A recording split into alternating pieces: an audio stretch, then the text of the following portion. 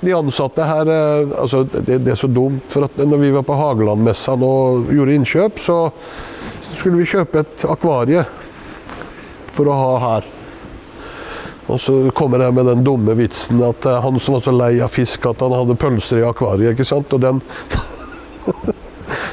det, det, det, blir så dumt at det, ja, det, det var en vits, da.